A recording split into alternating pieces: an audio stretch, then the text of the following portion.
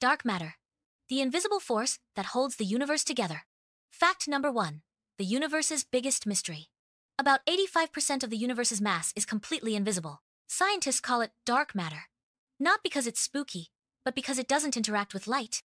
We literally have no clue what it's made of, we only know it exists because of its gravity. It bends galaxies like they're spaghetti. Fact number two it's the glue of the cosmos. Without dark matter, galaxies would fly apart. Yup, they spin so fast that without this invisible force, they'd rip themselves to pieces.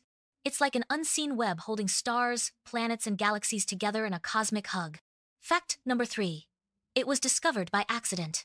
In the 1930s, astronomer Fritz Zwicky noticed something weird. Galaxies in the Coma cluster were moving way too fast. He did the math, and boom, he realized there must be hidden mass holding them in. That was the birth of the dark matter theory. Fact number four we still can't catch it even.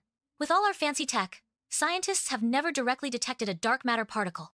We build underground labs, shoot particles in colliders, and still, nothing. It's like chasing a ghost in space. Fact number five. It might be the key to everything.